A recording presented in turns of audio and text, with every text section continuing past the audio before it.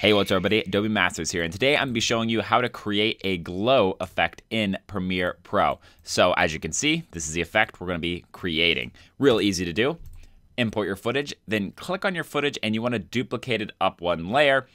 Easiest way is to hold Alt and drag up. You can also hit Control C, which copies it and make sure that video 2 is selected, not video 1. Control V, it will paste it there as well. Once you're on your second video, you're going to want to go to the Lumetri color panel or search for the Lumetri color video effect on other color and correction and drag that on. And then the color panel will be over here. So either side. You'll then want to go into the curves portion of it. And you'll see that there's the square over here. I'm going to use this one. Grab right around the middle, drag straight down. And what we're doing here is we are selecting the highlights. I like to grab this over a little bit. We don't want to peak anything you peak something, it'll uh, come across as a little bit worse, which is peaking would mean that shoots up to the top. This is looking good. You can see we have a good solid grab on a lot of the highlights here. Maybe even goes here a little bit. And so now all we have are the highlights. Then we're going to go up in our effect controls over to the opacity, down here to blending mode, and we're going to turn on screen and you're going to see it's pretty much the same, a little bit of distortion on the blues on the top, but that's okay for this effect because what we're doing next is we're going to be using blur. So we're going to look for the blur. It is under, uh, it's going to be down here under blur and sharpen. We're going to use Gaussian blur for this. It's one of the higher, more robust blurs. So we're going to take this, drag it onto that night downtown footage, go on down, It'll be at the bottom of this Lumetri color panel, so you can actually use this little drop down arrow to hide Lumetri color. Gaussian blur, we're going to bring it up now. And you're going to see we get a good solid blur here. Bring it up to something like maybe 160.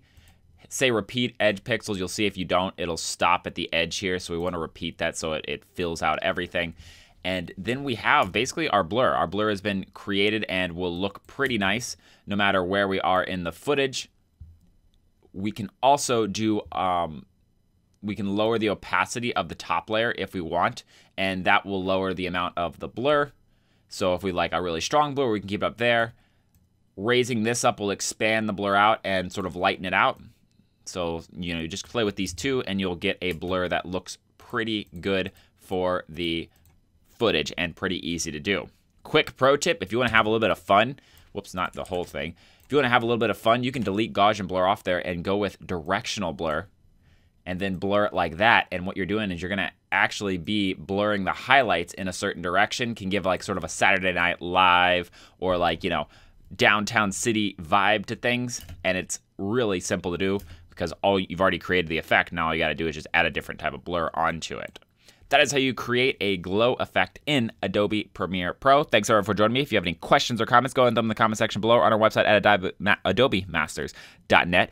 If you want to see more videos similar to this one, go ahead and hit that subscribe button and the notification bell so you can see all of the new tutorials as they come up. If you want to keep learning with Premiere Pro, check out the course in the description below. It's a course that I created all about Premiere and it'll make you a master by the end of it through tutorial-based learning. Thanks everyone, until next time, see ya.